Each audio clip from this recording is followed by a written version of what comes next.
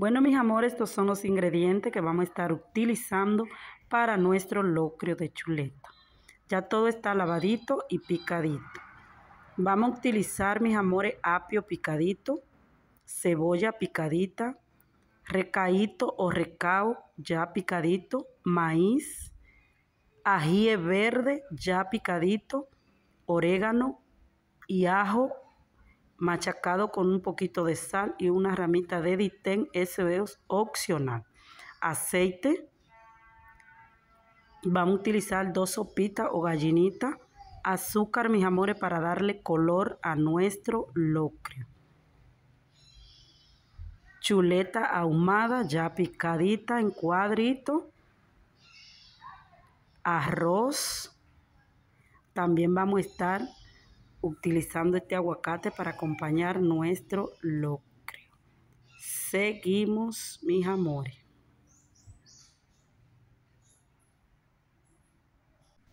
Bueno, mis amores, nuestra pala está caliente. Vamos a agregar el aceite, mis amores. Luego vamos a agregar el azúcar. Vamos a dejar que caramelice bien nuestro azúcar y luego le vamos a agregar la chuleta. Vamos a mezclar y luego le vamos a agregar, mis amores, el orégano y el ajo ya machacado. Se lo vamos a agregar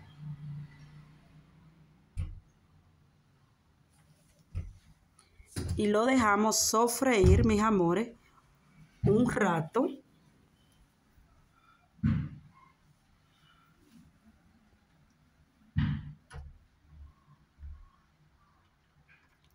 Bueno, mis amores, ahora vamos a agregarle todos los ingredientes restantes. Le agregamos la cebolla,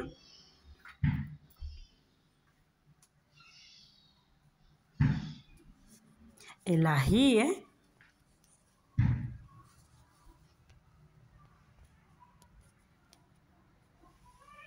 el maíz,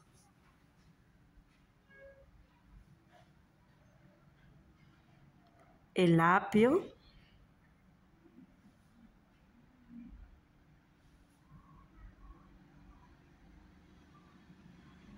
le vamos a agregar las dos sopitas. Vamos a mezclar todo muy bien.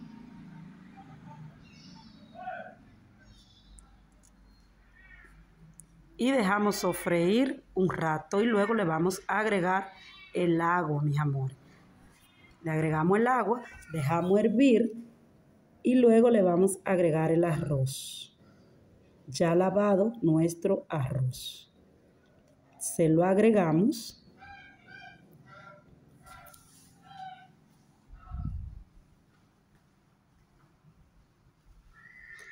Mezclamos todo muy bien. Dejamos hervir, mis amores. Probamos de sal, a ver cómo está. Recuerden que ustedes le van a agregar sal al gusto. Ya nuestro arroz está seco.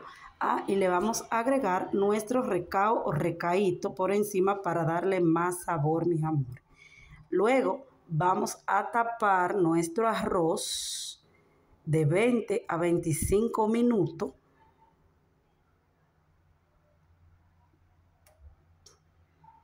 Bueno, mis amores, ya nuestro arroz está listo. Le dimos 20 minutos.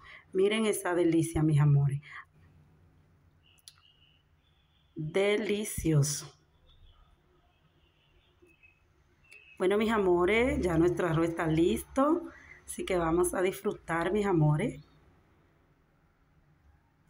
Bueno, mis amores, este ha sido el resultado de nuestro locrio de chuleta. Lo estamos acompañando con aguacate, una ensaladita de repollo y remolacha. Miren esa delicia, mis amores. Ustedes lo pueden acompañar con tajada de plátano maduro, con lo que usted desee acompañarlo. Así que buen provecho.